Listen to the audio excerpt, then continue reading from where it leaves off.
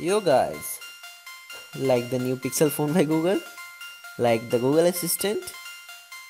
But don't want to spend that much of money to enjoy those features. So no problem friends.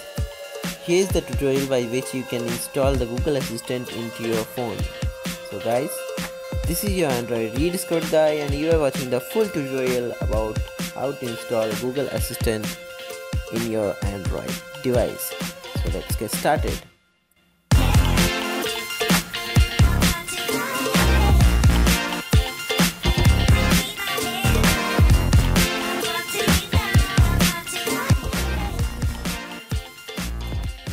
Okay guys, so before proceeding to the tutorial, you will need to make sure that your phone is rooted.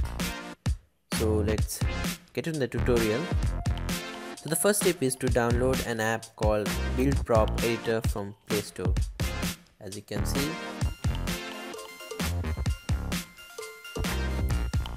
this is the app which really you need to download from the Play Store.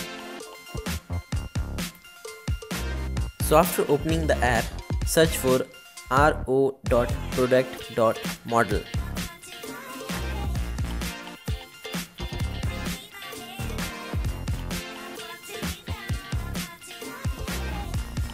And change that to Pixel XL.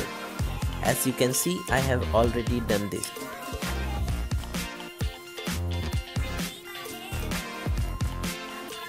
So after this, press on that edit button and scroll down to the end and add the following line.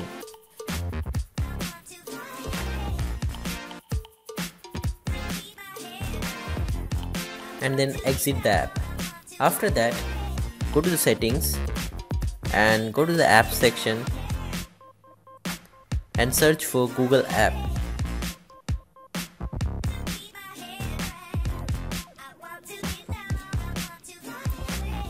Force stop it and after that clean the data of this Google app.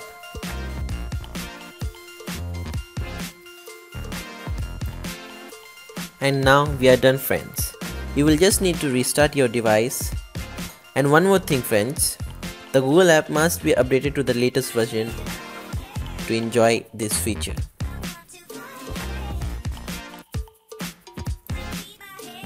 So after restarting your device, just press and hold the home button to start the Google Assistant. And if doesn't work, just restart it again after some time, then it will work. So friends, that's it. Hope you like the video. So don't forget to subscribe my channel. And if you have any queries, so just mention it in the comment section. I will try to solve your problem. So thanks friends. I am signing off. Peace